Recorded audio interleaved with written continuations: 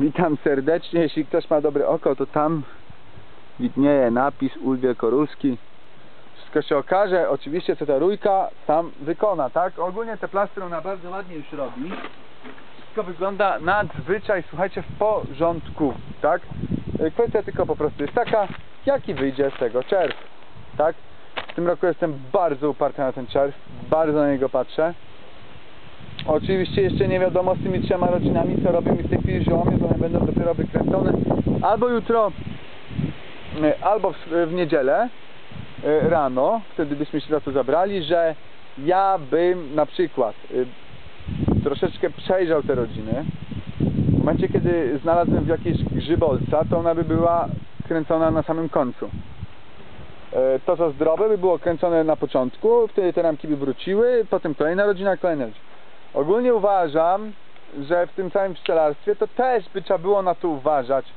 E, Ja od samego początku, jak zacząłem ogólnie się bawić te pszczoły, to mówię, przecież to jest cholernie trudne wszystko, żeby tak to rozwiązać, żeby te wszystkie ramki wracały z tego ula do tego ula i tak dalej, i tak dalej, ale ogólnie da się to zrobić. I, I w przyszłym roku od wiosny będę właśnie tak robił, tak? Więc jeśli ktoś ma pasiekę przydomową, nie jest do końca pewien swoich pszczół, no to lepiej robić właśnie tak, tak?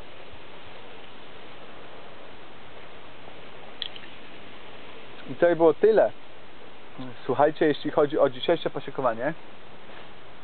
mm, Zajrzałem sobie właśnie do rodzinek, które jeszcze miały coś z tymi matkami. Yy, Zdecydowana większość tego, co tutaj jest na pasiece, mi się yy, właśnie unasieniła.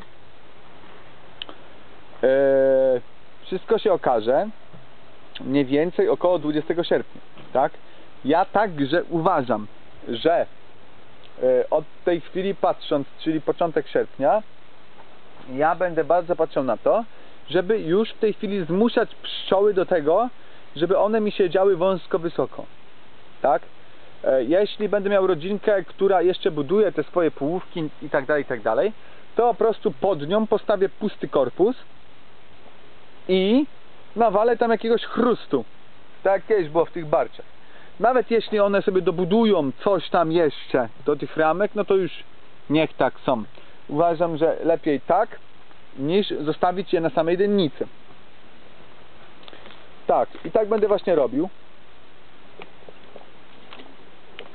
Że właśnie tak będę robił. Hmm. Uważam, że ta y, część rodzinek, która będzie mi właśnie zimowała w tym roku pierwszy raz w ten sposób, że pod spodem będzie coś pustego i jakieś tam chrusty. Ja już myślałem właśnie, że nakładę tam na przykład w rotyczu, on wyschnie i będzie chrustem, a zanim wyschnie, no to będzie działał antywarozowo, tak? E, antygrzybicznie i w ogóle i tak dalej. E, więc tak, tak będę robił, ale to będzie zdecydowana, widzę, mniejszość. E, Prawdopodobnie ul pod domem będzie tak zrobiony. E, Prawdopodobnie będzie tu zrobiona może jedna, dwie rodzinki. Może trzy. Więc e, po prostu wyniknie to tylko i wyłącznie z tego, że te pszczoły po prostu nie zdążą się wybudować do tego okresu. Ale to jeszcze zobaczymy oczywiście, jest cały miesiąc. E, Czasami ta pszczoła potrafi naprawdę zrobić ze sobą jeszcze coś. E, Tematki od pana Cegiełko wydaje mi się, że jest 3 do 2. E, Wszystko jest też za- zależy od tego, jaki będzie po nich czerw. Nie? Z tego co jestem w stanie już teraz zauważyć, to widzę po tych matkach, które tutaj widziałem, że jest raczej ok. Mm, Co dalej? E, Pszczoły futru na ramkach mają. E, Nie jest to futer podsklepiony, zależy jeszcze w jakich rodzinkach. Niektóre rodzinki są naładowane, niektóre mniej, niektóre jeszcze mniej. Podejrzewam, że jeszcze bym, jak y, oglądał te, które dostały typowo kwasu, to jeszcze by miały mniej. Ale nie ma co się martwić. Od y, jutrzejszego dnia y, będziemy jechać tutaj ostro z cukrowaniem. E, W tej chwili już po prostu wiem, gdzie w ulach matki się nie unasieniły. E, e, W tym momencie te rodzinki nieunasienione po prostu nic ode mnie nie dostaną. Wiadomo, będą tylko i wyłącznie wywiezione i wytrzepane. E, Ogólnie też uważam, że one tam, w tym już miejscu, y, do którego zostaną przewiezione, to one w tym stanie bezmatecznym będą trwały do końca wygryzienia się pszczoły w ogóle w ulu. Tylko dlatego, żeby wydobyć jeszcze stamtąd pszczołę młodą, która ma ze sobą może coś zdrowotnego. E, Czyli po prostu nie jest jakaś zarażona czy coś, nie wiem. Nie wiem, nie wiem, słuchajcie, ja będę je tam cały czas pryskał tymi miksturami naprawdę na maksa, tak? E, Więc e, ta rodzinka składak będzie naprawdę miała ze mną przeżycia niesamowite, więc no po prostu będziemy tak walczyć, jak będziemy walczyć. Na chwilę obecną, dzisiejszą, moje penetrowanie tutaj pszczół się raczej zakończyło. Część rodzin, a zdecydowana raczej już pod większość, jest właśnie tym motywem zimowym już ustawiona, tak? W tej chwili będą tylko i wyłącznie y, niewielkie manewracje, jeśli chodzi o to, że pszczoły będą jakieś ramki tam dostawać, czy coś takiego. Tak? Y, tak, te, które pszczoły udało mi się po prostu wykonać y, tak, że siedzą i będą siedzieć na tym, co jest najbardziej świeże, no to tak będzie. Y, Te, które nie, no to trudno, tak wyszło.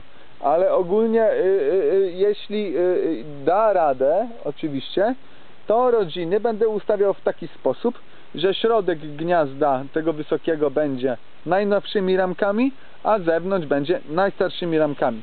Że nie będzie coś takiego, że e, będzie na przykład e, przetasowane stara ramka, nowa ramka, tylko zawsze ta stara najbardziej stara będzie od zewnątrz, ale po ramkach też jesteśmy w stanie zauważyć, które są starsze, które są nowsze, więc możemy to tak jakoś sobie w miarę poukładać.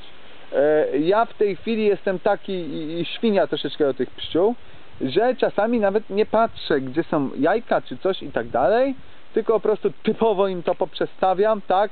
Patrząc na przykład tylko i wyłącznie na kryterium jakości nowości ramek. A one to wszystko jakoś z powrotem sobie teraz doogarną, tylko musimy właśnie dawać im futer, tak? W moim przypadku na przykład tego pyłku te pszczoły są w stanie sobie nanosić, więc tylko i wyłącznie chodzi o pożytek cukrowy.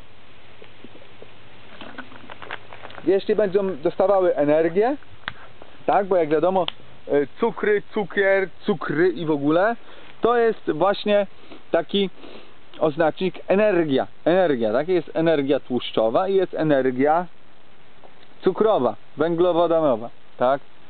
E, W momencie, kiedy pszczoły mają te cukry proste, to one w stanie są na tym właśnie się wyżywić energetycznie, czyli na przykład jeśli nie ma pożytku nektarowego, to one biorą ten nasz cukier w wolę, prują popyłek, zdobędą ten pyłek i na tym samym cukrze ulowym wrócą z powrotem. Nażrą się znowu cukru. I to właśnie e, tylko i wyłącznie, na, na przykład, jeśli ta matka zaczęła teraz czerwić i w ogóle i tak dalej, i tak dalej, to one są w stanie właśnie wykorzystać ten po- pożytek cukrowy po to, żeby przynieść pierzgę, żeby przynieść e, pyłek, tak, a potem z tego zrobią pierzgę, tak i tak dalej, i tak dalej. Więc e, to wszystko jakby, słuchajcie, trwa.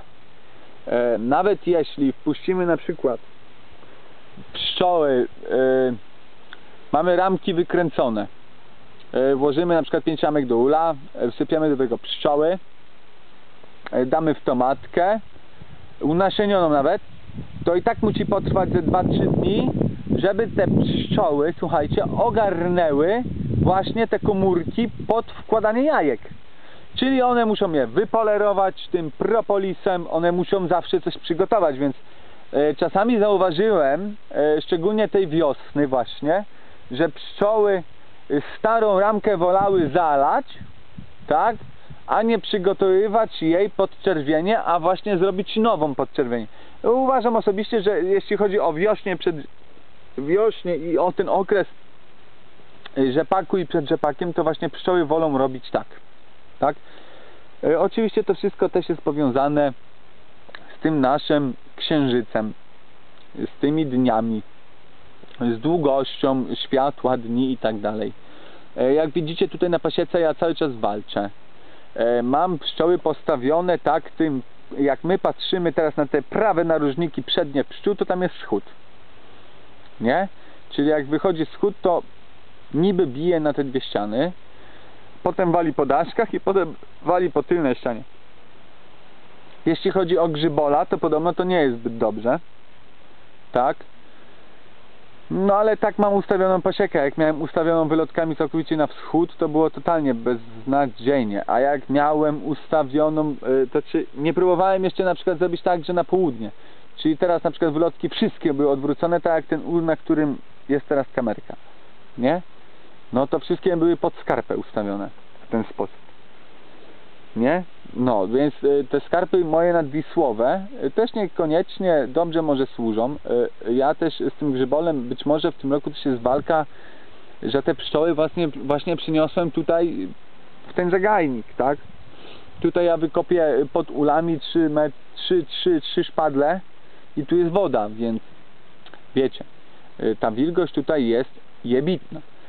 Dlatego ja ustawiając pszczoły, że co niektóry ul, tam mi się zdarzył kiedyś, że miałem trzcinowy, to ja automatycznie zdarzył, y, y, zauważyłem, że y, te pszczoły po prostu mają sucho, tak? A na desce już to się nie dzieje. Y, Trzymając pszczoły na przykład w lesie, to możemy mieć tą deskę i tam będzie nie sucho. Prawda? A tutaj w takim właśnie y, parowie, parowie takiej, prawda? E, e, e, Są właśnie zawsze, słuchajcie, jeśli mamy różne miejsca dla pszczół, to zawsze będą opcje za i przeciw, tak? Na przykład opcją za jest to, że tutaj jest zwyczajnie za ciszę, tak? Jest po prostu za ciszę. Y, Jest dużo krzaków i chwastów i różnych rzeczy, które wnet czekają na loty pszczół. Więc są i za i przeciw. Ale jeśli chodzi o tą wilgotność, to raczej to jest przeciw, prawda? Więc y, y, te ule właśnie y, trzcinowe i co mają podłogę jakąś trzcinową, to ja widzę, że one przędą lepiej. Ja widzę, że jak matka zacznie i w ogóle i tak dalej, na przykład takim ulu, który mam tutaj po prawej, to tam się tylko i wyłącznie dzieje więcej czerwieni. Uważam osobiście, że w tych puszkach jest gorzej. Tak? I to jestem w stanie zauważyć od razu. Od razu. Dlatego ja wolę przełożyć rodzinkę z, y, właśnie y, y, z deskowego na trzcinowy, tak? Bo wtedy będzie, ja wiem, że to będzie im lepiej, prawda? Y, Jeśli tylko będzie taki motyw, że na przykład produkcja uli dla ludzi stanie, tak, z jakichś powodów, nie wiadomo jakich powodów, produkcja stanie, no to ja przez ten czas postoju na pewno będę robił ule właśnie dla siebie, tak? I narobię tych uli dla siebie, takich w miarę kompletnych i wtedy też porobię właśnie na przykład te podłogi trzcinowe, prawda? I wtedy jak będę już miał nowe ule jakieś też, które będą w trakcie mojego życia powstawać, to będą właśnie powstawać. W tej chwili bardzo się obraziłem na ule jednościenne. W ogóle prawdopodobnie nawet dla siebie produkcja ich stanie. Y, Tych korpusów, które mam w tej chwili porobionych z desek mam dużo. Na moje y, y, własne potrzeby mi to wystarczy.